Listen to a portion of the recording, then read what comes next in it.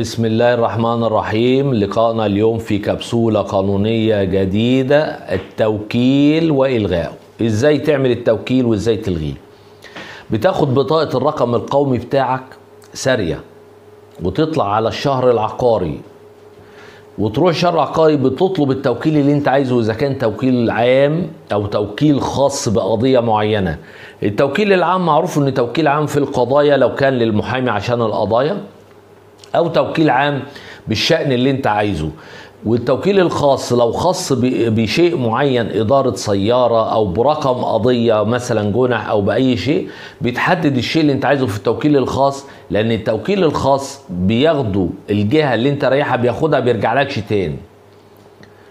أنت عملت التوكيل بتدفع الرسوم بتاع خزنة الشهر العقاري الشهر العقاري له خزنة لوحده عشان ما تخلطش بينه وبين المحكمة. بتدفع رسوم التوكيل في الشهر العقاري. بعد ما تدفع رسوم التوكيل بتروح للموثق بالتوكيل بتصور منه نسختين وتروح للموثق بالتوكيل بيمضيك على التوكيل قدامه ويمضيك على الدفتر التوثيق اللي هو بيشتغل فيه. عشان كده بنقول الشهر العقاري لازم يروح الشخص اللي هيعمل التوكيل بنفسه. ما ينفعش أبعت أكون عايز أعمل توكيل أبعت أمي بالبطاقة ولا أبعت أبويا بالبطاقة ولا أبعت أخويا بالبطاقة. لا لازم الشخص بنفسه اللي هيمضي أو يبصم لازم بنفسه يطلع الشهر العقاري ببطاقة سارية. ما يروحش ببطاقة ملغية أو منتهية ويقولوا لا روح ما إيه يبقى 12 على الفاضي. ده بالنسبة للتوكيل. نصيحة بقى.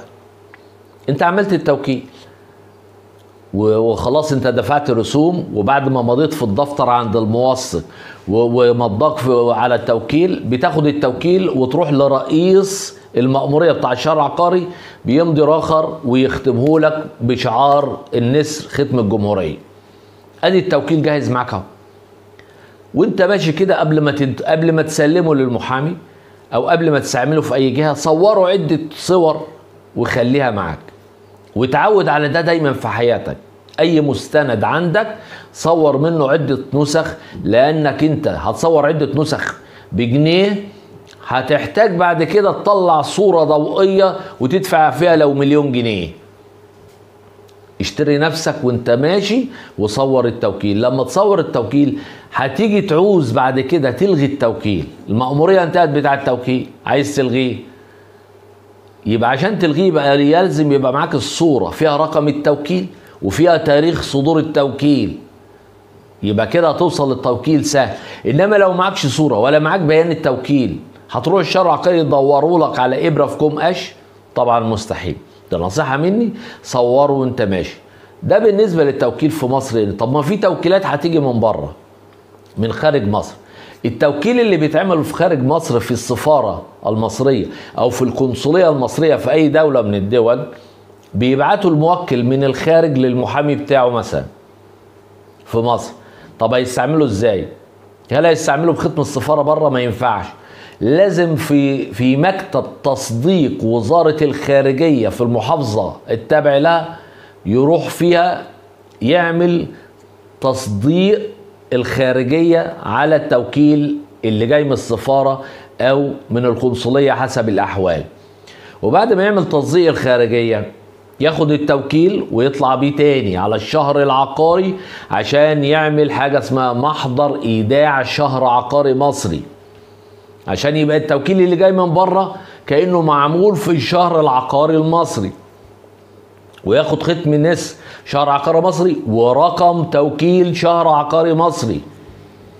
غير الرقم اللي معمول بيه في السفارة أو القنصلية بياخد رقم توكيل شهر عقاري مصر وكده بيكون عمل التوكيل سواء جاي من بره أو جاي من جوه ويلغى التوكيل زي ما قلت احتفظ بالصورة هتبقى دليل إرشادك على إلغاء التوكيل. لما بتلغي التوكيل بتعمل حاجة اسمها إقرار إلغاء في الشهر العقاري بتدفع عليه رسوم 2 جنيه ولا حاجة كلام فاضي.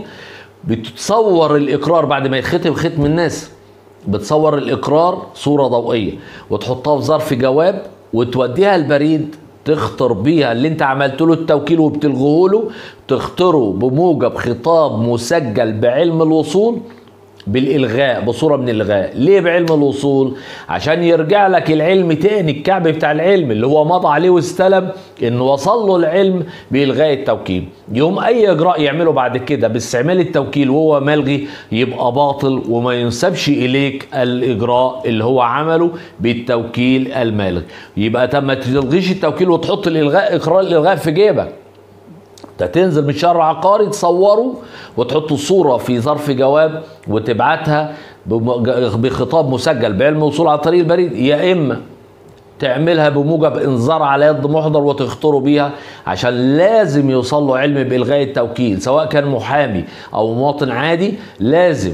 وكل التوكيلات قبل للإلغاء إلا إذا كان هناك اتفاق في التوكيل نفسه على عدم إلغائه إلا حضور الطرفين زي توكيلات السيارات البيع والشراء في السيارات اللي بيتفق فيه على عدم إلغائه إلا بحضور الطرفين كل التوكيلات قبل الإلغاء إلا إذا نص في التوكيل على ذلك. أعتقد إن كده اكون لمينا موضوع التوكيل وإلى اللقاء في حلقة أخرى إن شاء الله. والسلام عليكم ورحمة الله وبركاته.